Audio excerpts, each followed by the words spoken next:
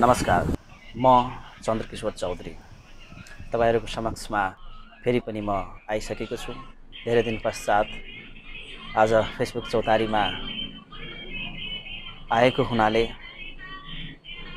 म एउटा राम्रो प्रसङ्ग पनि लिएर आएको छु। यो धर्म सम्बन्धी हो अध्यात्मको विषय राखेको छु। र वास्तवमा मान्छेको मृत्यु हुन्छ कि हुँदैन? र मृत्यु हुन्छ भने कसको मृत्यु हुन्छ? र हामी को हौँ? हामी एउटा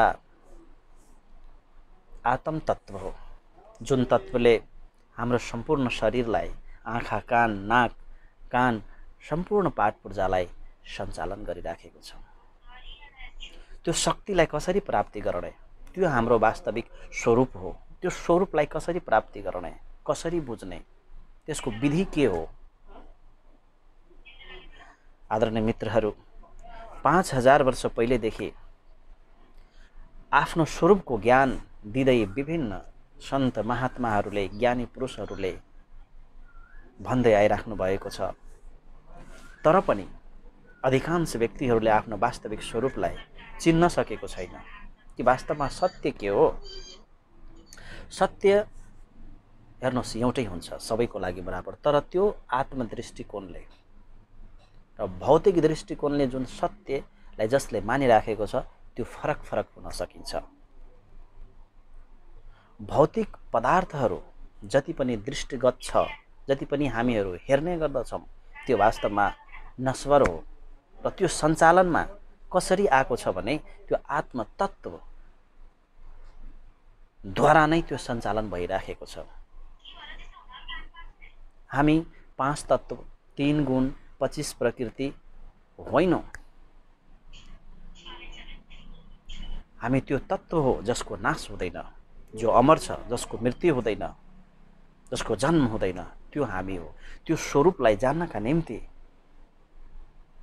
त्यो व्यक्तिसँग तपाईँले सम्पर्कमा आउनुपर्छ त्यो व्यक्तिको सम्पर्कमा आएर त्योसँग भेद लिनुपर्छ रहस्य बुझ्नुपर्ने हुन्छ। र त्यो प्रोसेसलाई तपाईँ फलो गर्दै गयो भने एक दिन तपाईँ आफ्नो आत्मस्वरूपलाई प्राप्ति गर्न सक्नुहुन्छ। आदरणीय मित्रहरू त्यसैले हाम्रो कहिले पनि मृत्यु हुँदैन। न तपाईँको न मेरो। मृत्यु हुन्छ त शरीरको हुन्छ। हामी न मन हो न माया हो न इन्द्रिय हो। हामी केवल आत्मतत्त्व हो। त्यसलाई प्राप्ति गर्नका निम्ति के के गर्नुपर्छ के के प्रोसेस छ त्यसमा ध्यान आकर्षण गर्नुहोला। यो प्रसङ्गमा एउटा कथालाई म जोड्दैछु। एक समयको कुरा हो। बाख्रा चराउने व्यक्ति।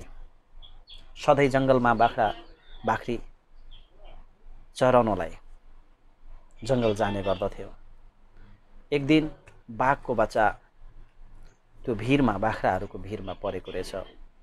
त्यो बाघको बच्चालाई समाएर त्यो व्यक्तिले ल्याउनु भयो र बाघलाई बाख्रा बाख्रीकै सङ्गतमा राखेर पालन पोषण गर्नुभयो।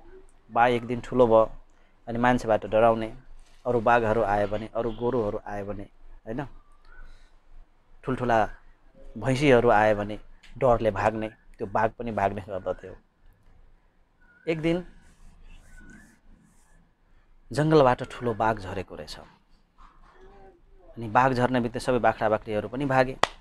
र त्यो बिचमा भएको बाघको बच्चा पनि भागे।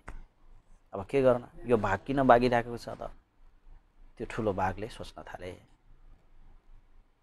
अनि त्यो बाघलाई समाएर पानीको छेउमा ल्याएको र पानीमा उहाँको अनुहार देखाएको ल तिमी बाख्री होइन बाख्रा होइन।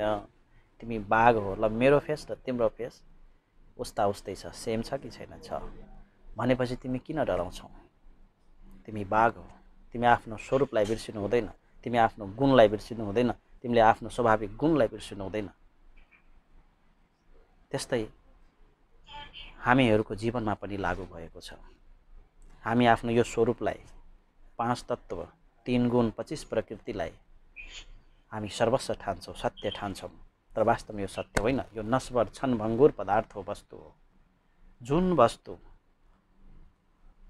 अविनाशी छ जुन वस्तुको नाश हुँदैन त्यो वस्तु चाहिँ हामी हो। हामी आत्मतत्त्व हो। त्यो तत्त्वलाई प्राप्ति गर्नुपर्छ। त्यसैले सन्त शिरोमणिले भनेको छ। के भनेको छ भने वस्तु कहीँ ढुन्डे कहीँ किस विधि लागे हात गुप्त वस्तु तब मिले जब भेदी लिजे साथ।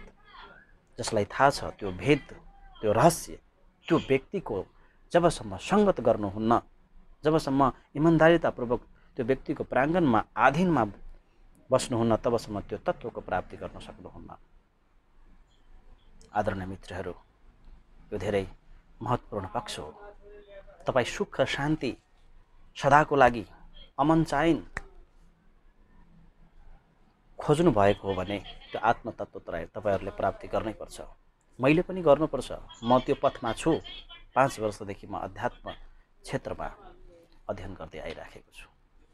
तर पनि कम्प्लिटली पूर्ण प्राप्ति गर्न सकेको छुइनँ। तथापि जति मैले जानेको छु जति मैले अनुभव गर्दैछु त्यो तपाईँहरूसँग सेयर गर्नका निम्ति म यो फेसबुक चौतारीमा आएर गर्दैछु। आदरणीय मित्रहरू अन्यथा नलिनुहोला।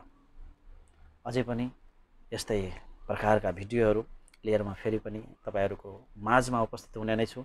त्यति दिनसम्मलाई यो भिडियोलाई हेरेर बसिदिनु होला सुनिदिनु होला लाइक कमेन्ट एन्ड सेयर पनि गरिदिनु होला। पुनः नमस्कार।